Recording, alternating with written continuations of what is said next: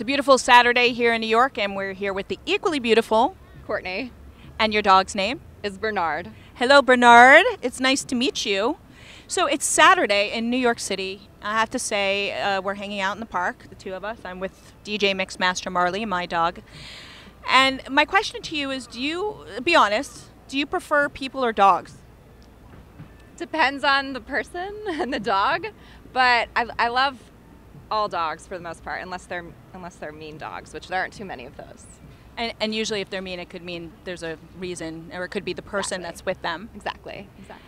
But it's Saturday, so it's going to be Saturday night. Would you prefer to be spending Saturday night with your dog or with a significant other? Both. With a nice bottle of wine? exactly. Exactly. Does Bernard drink wine? Uh, occasionally he has beer.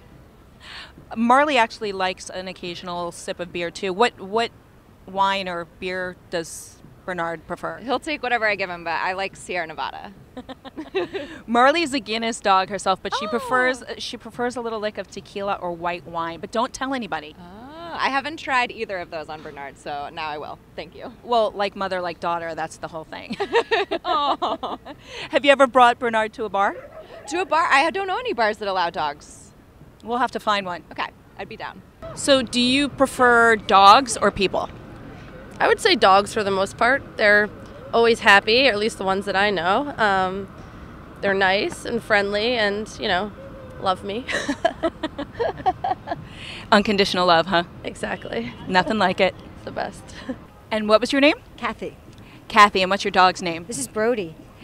How long have you had Brody? We've had Brody uh, since May uh, two and a half years ago. In the end, do you prefer people or dogs? Oh, definitely the dog. no doubt about it. Why? Oh, no grief, just love. You know, he's just he's good. He's a good boy. Definitely.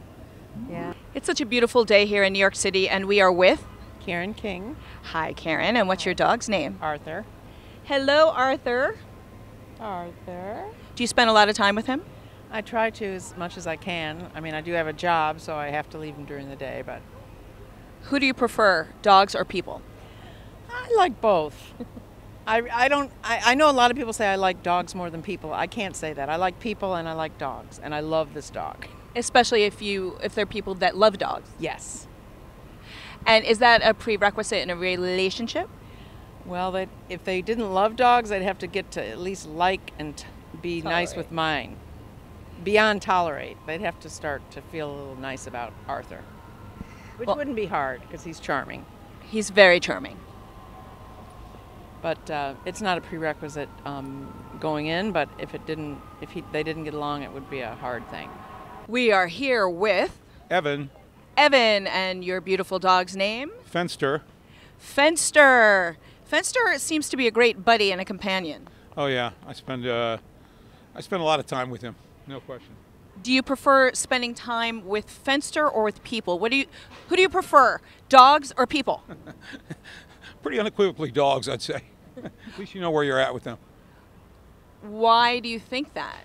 Uh, they're uh, not coy with their feelings like some, you know, people are. They're not catty. Oh dear. you said it, not me. Well, there he goes. Today we are here with Johnny and Lulu. Hello, Lulu, and hello, Johnny. I have to say, Lulu looks incredibly beautiful in her outfit today. And I'm wondering I, I know you you like to dress up Lulu. Do you prefer spending more time with Lulu than with people? Do you prefer dogs or people? Mm, dogs. Why do you prefer dogs? Well, they don't talk back. They don't talk back bad to you, and then it's they're loving. Actually, they really do loving um, dogs. But a dog can bite you back. Depends. If you feel some, if they feel threatened, then definitely will bite you back. But if you feel like sincere and you know they're not crazy dog, then probably not. And do you ever find that spending more time with Lulu has been sort of making it difficult to have a relationship? Yes. yes. I hear ya. I hear ya. Yes. Yes. Well, all we can say is thank God for Lulu.